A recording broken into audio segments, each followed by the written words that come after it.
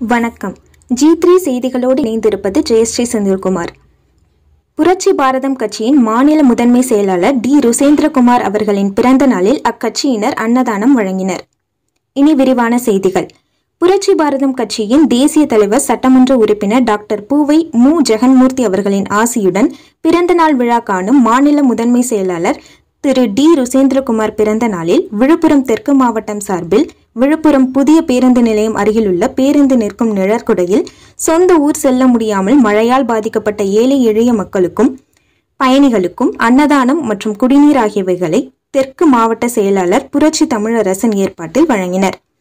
இதில் மாநில துணை செயலாளர் வழக்கறிஞர் கா. பூவையாருடன் தெற்கு மாவட்ட துணை செயலாளர் ஜே. கே. குருவிழி வளவனூர் நகர செயலாளர் தீபக்ராஜ் மற்றும் சுதேசி ஆகியோர் ஒன்றாக சேர்ந்து ஏழை எளியவர்களுக்கும் அன்னதானம் வழங்கி சிறப்பித்தனர். ஜி த்ரீ செய்திகளுக்காக விழுப்புரம் செய்தியாளர் ராஜேஷ் கண்ணன்.